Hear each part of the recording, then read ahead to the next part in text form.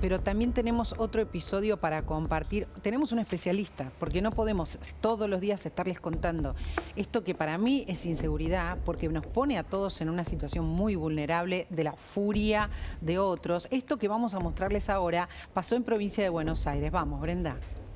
Sí, tiene que ver con eh, una persona que va a alta velocidad, todavía se está haciendo el estudio, y pasó en Quilmes. Era un control vehicular. Ella continúa, es una mujer de 39 años la que maneja, continúa manejando.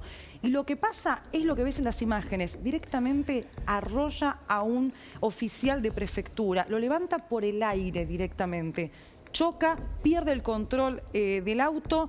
Mira, la imagen es terrible y hace volar al oficial de prefectura por los aires. Fue internado eh, de urgencia, hoy eh, no corre riesgo su vida, fue además eh, intervenido y tuvo una quebradura expuesta de la pierna derecha. A la mujer se le hizo, por supuesto, el test de alcoholemia que dio negativo, pero a pesar de no estar detenida, la imputaron por lesiones graves. fíjense lo que es la imagen, ¿no? Ella no estaba alcoholizada y sin embargo se llevó por delante a, a un suboficial de la prefectura. Es muy impresionante, muy impresionante y le provocó una fractura además, ¿no? Eh, no está detenida, ¿por qué? Porque dio negativo de alcoholemia. Estas cosas están pasando y está con nosotros Santiago Levín. Mientras lo vemos necesitamos que alguien nos ayude a muchas cosas. Primero entenderlo, porque soportarlo no podemos. Eh, y lo pongo en autos a, Santiago todos los días desde que empecé mi ciclo aquí en, eh, en, este, en este canal comparto con Luis, compartimos, porque esto es un equipo y porque Brenda me, trae junto con el equipo estas imágenes diarias diarias. Hay veces que digo, descansemos de esto, de ataques de furia, ataques de personas que no son delincuentes, sino que son personas como nosotros que un día se les dispara algo o que de golpe, como pasó recién, veíamos, esta es la imagen, eh, se lleva por delante a una persona. Digo, ¿qué le qué pasa en, las personas, en los ciudadanos que no son delincuentes y que de golpe son capaces de una violencia inusitada. Gracias por la invitación, María Laura. Eh, yo tengo la obligación como docente, como psiquiatra, como expresidente de la Asociación de Psiquiatras, de decir que cuando se comete un delito, aunque la persona no sea delincuente previamente, y se convoca a un psiquiatra, estamos haciendo ya una asociación que nos ha traído muchos dolores de cabeza. La asociación entre eh, enfermedad o trastorno mental y violencia o delito. En realidad es exactamente al revés. Las personas que sufren de trastornos mentales son objeto de violencia, de discriminación, utilizados para el crimen con mucha frecuencia y objetos de delito, no sujetos de delito. Entonces lo primero que tenemos que decir es, no siempre que hay un delito hay, un, hay un trastorno mental. Por supuesto, por supuesto. Tampoco sabemos si en estos casos hay un trastorno mental. No lo, sabemos Lo que vemos es gente crispada, fíjense las imágenes del fierrazo, ¿no? Crispada, eh, que se saca de golpe, personas como, como vos, como yo, como Brenda, como Mariana, que estamos por ahí, y que de golpe se, le, se dispara algo, digamos, ¿no? No personas que están siendo tratadas por problemas mentales. Exactamente, por eso es interesante distinguir, hacer una divisoria de aguas allí. Trastorno mental muy rara vez desemboca en delito. ¿Cómo Casi explicamos todos los delitos están cometidos por personas que no padecen un trastorno mental.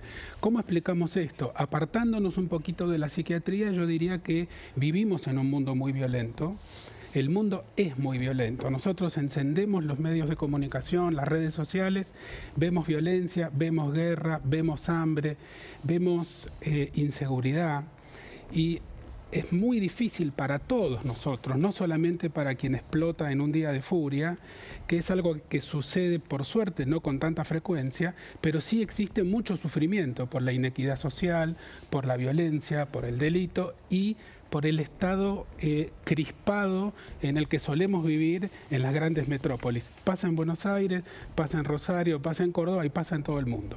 Y pasa con distintas clases sociales, porque estamos viendo muchas veces, acá estamos viendo otra de las de los episodios de alguien que le iba contra, contra el, el parabrisas, una mujer, contra el parabrisas de un auto, porque no paraba, eh, de un colectivo, perdón, porque no paraba el colectivo, ¿no? Ahí se veía. Esto pasó en Rosario. Por eso te digo, estamos hablando de ciudadanos a los que se les dispara un ataque de furia que no se puede parar. ¿no? Eh, eh, queremos entenderlo desde la psicología al menos.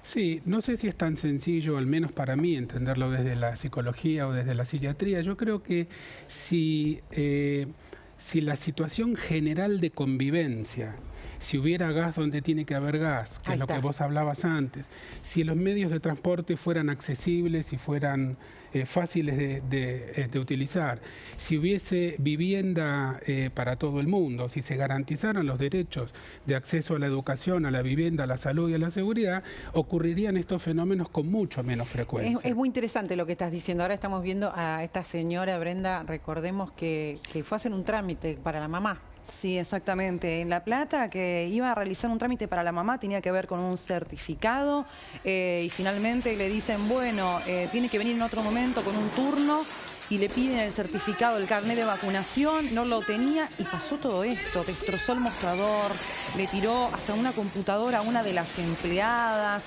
Pero esta historia pasó en La Plata, en Loma de Zamora tuvimos una situación muy parecida también en una oficina municipal con la misma situación, una persona fuera de sí que arrojaba objetos a las personas e incluso a una de las empleadas le, la llevó a golpear. Eh, se nos complica, se nos complica entenderlo, se suman los casos en distintos lugares. Lo que está diciendo Santiago, eh, les cuento a todos, creo que es bastante claro.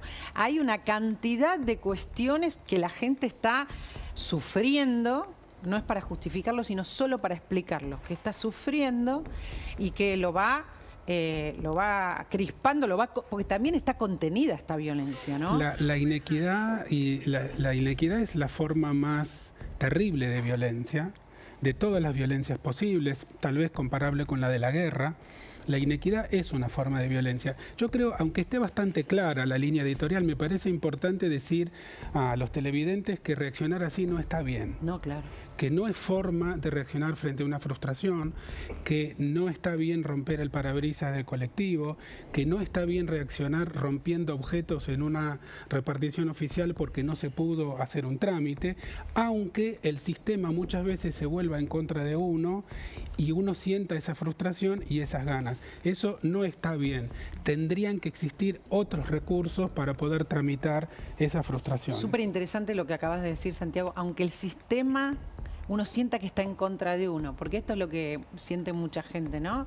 Mucha, mucha gente, por supuesto. Eh, María Laura, vivimos en un mundo muy injusto donde eh, más de 1.500 millones de personas no, no tienen acceso a la vivienda, donde hay gente que pasa frío en invierno, eh, donde hay gente que no consigue trabajo, que es un derecho constitucional.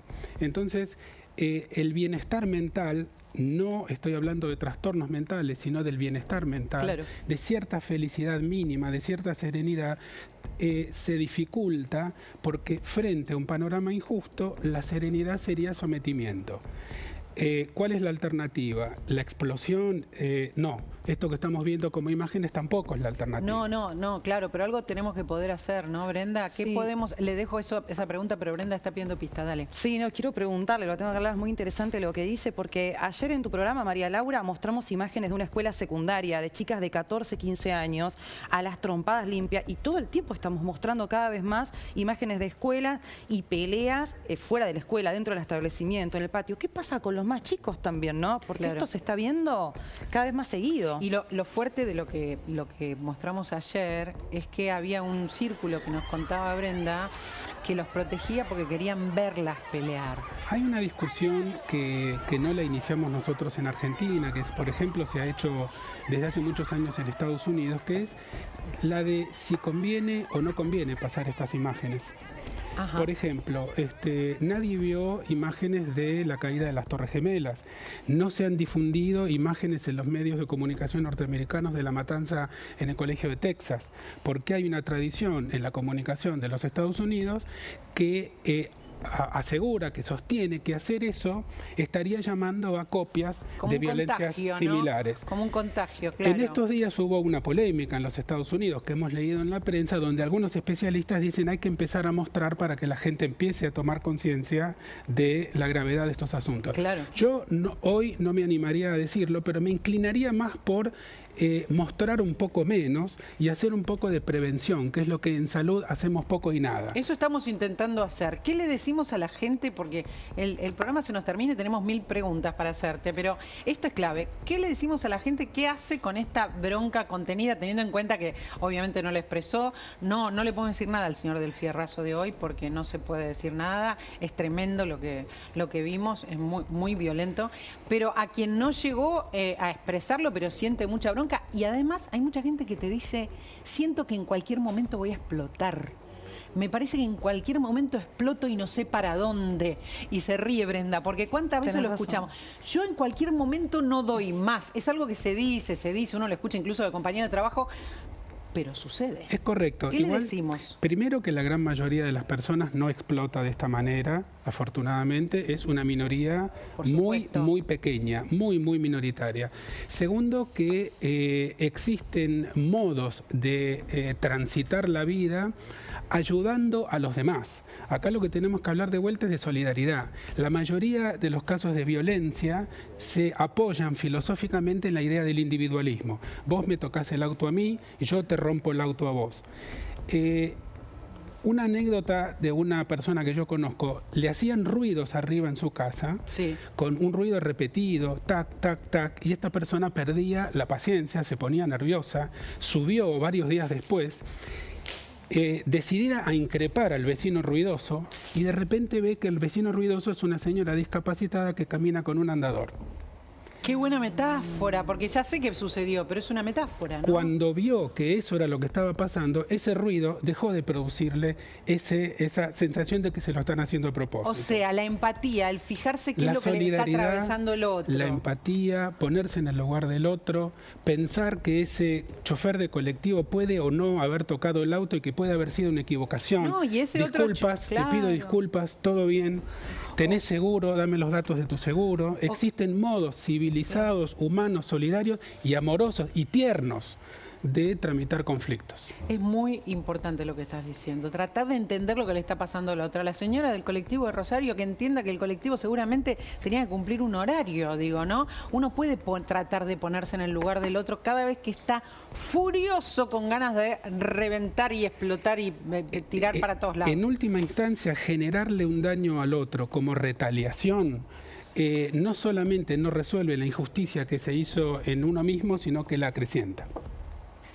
Y ni hablar, Brenda, las consecuencias, ¿no? Porque después tenés una causa judicial, ni hablar, porque hablemos de lo práctico también, ¿no? No, totalmente. Las imputaciones, además, lo que son los daños, también el proceso de la justicia, la policía, la denuncia. Fíjate que en lo que te mostré recién con respecto a, a, Quilmes, eh, la persona está imputada ahora por lesiones culposas empieza un proceso y tenemos una otra persona también que está internada con varias cirugías, tiene una consecuencia muy fuerte. Y en el caso de la escuela, separar a las chicas, por ejemplo, ver la forma de dividir las aulas. Esto fue lo que ocurrió en la, escuela que te contaba ayer, en la capital de Corrientes, María Laura. Tiene unas consecuencias graves también.